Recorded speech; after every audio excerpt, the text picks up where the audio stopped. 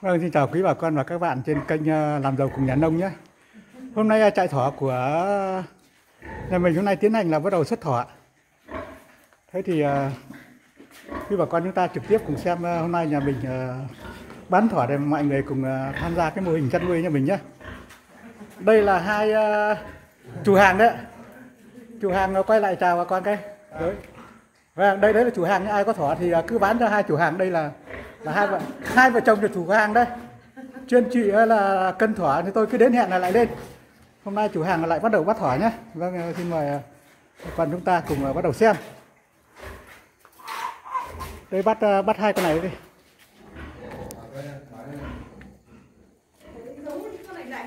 Đánh đánh dấu mấy cái con thỏ ra để bán giá khác này. Đây. Ui con này cũng nặng quá rồi con này bốn năm cân. Già thỏ già thỏ riêng để cân riêng.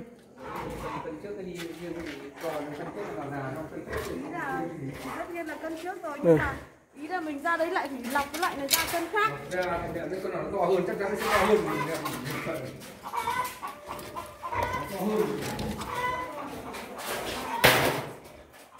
đây. Cô lại to để à, 5 cân cân riêng. Bốn nó cầm đấy nặng lắm đấy.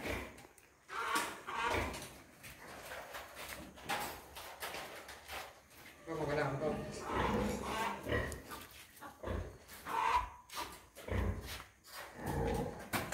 Đây. đây mấy con già đấy rồi? Ba con. Ba con à?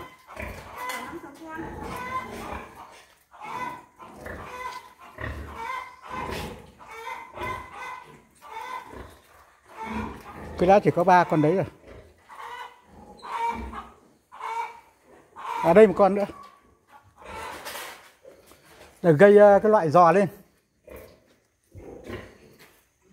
Mình bắt đi. con này cũng là cái loại ờ, giò giá ừ, giá siêu đẳng đây.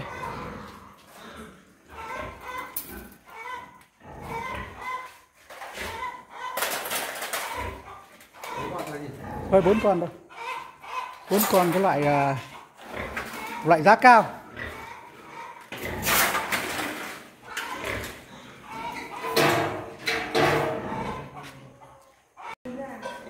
Vâng, nhưng mà tiếp tục ờ, tiếp tục bắt bắt tiếp đây.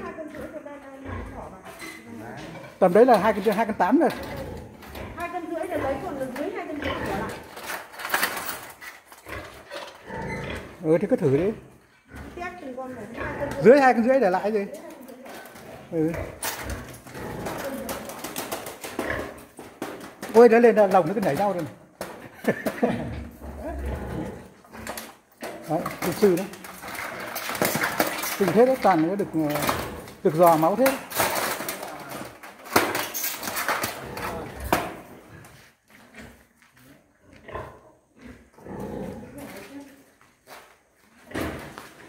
đây là cứ ờ, cứ hai cân rưỡi là trở lên là nhà bình xuất rồi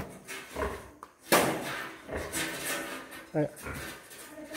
cứ hai cân rưỡi trở lên là vào biểu xuất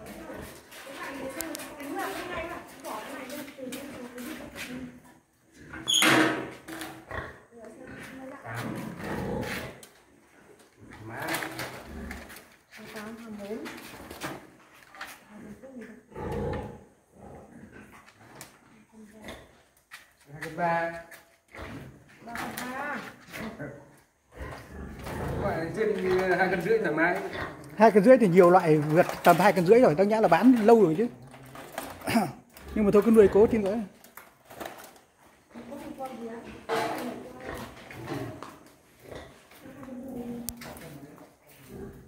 Ô đây cũng được đấy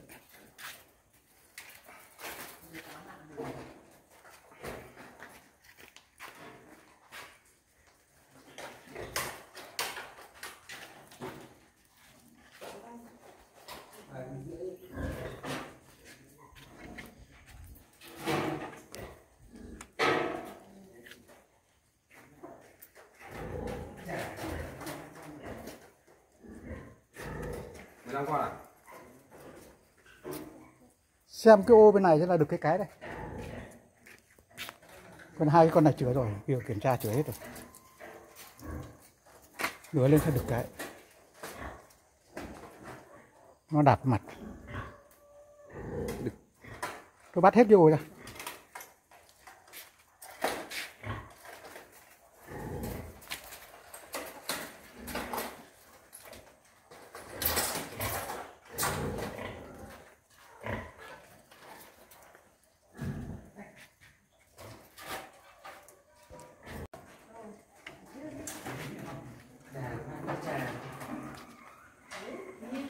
thế cả đây qua rồi. Sáu qua không thôi sáu qua đấy thế là mỗi chuyến đi à, hai mươi con à? Vâng ừ. Ừ. hay là cân tổng lên là lại trừ à, trừ lại cái con kia. Ừ đúng rồi thế là được.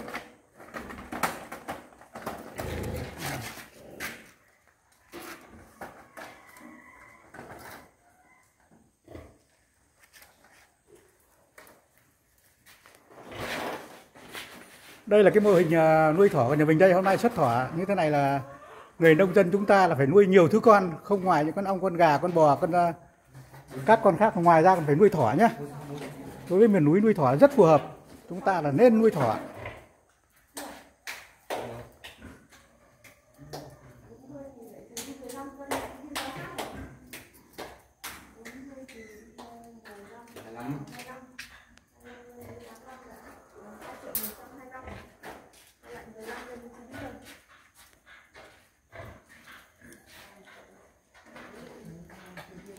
Còn đây là còn những cái loạt này thì là chỉ trong vòng 2 tháng tháng lợi xuất được.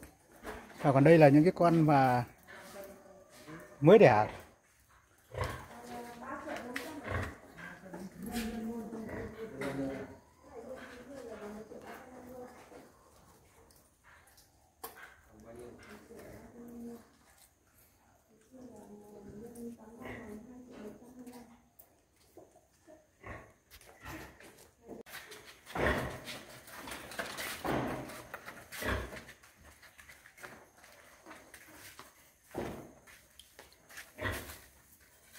Như vậy là mỗi chuyến là 20 con. Và ti- tiếp tục mấy mấy hôm nữa thì các bác bắt. Tầm, ờ, 20 ngày ạ.